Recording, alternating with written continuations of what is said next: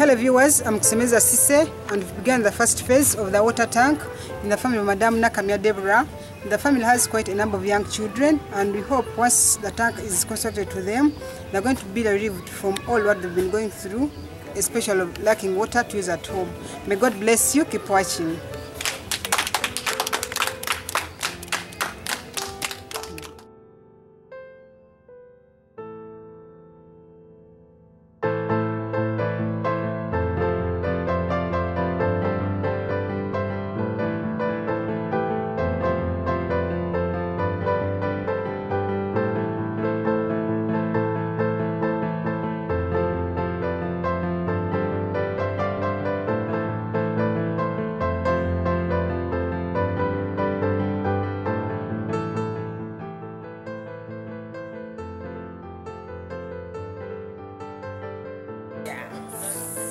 Hello viewers, I'm Kusemeza Sise and this is the final phase of the second water tank in the family of Madame Nakamia Deborah.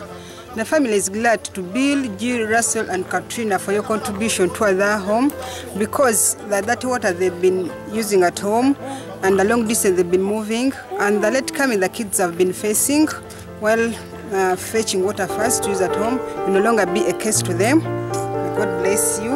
Thanks a lot.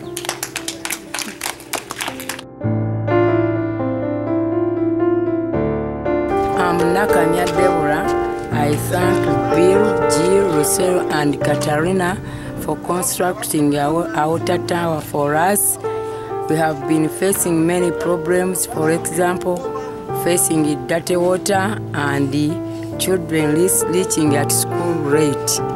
So many problems are solved. May God bless you.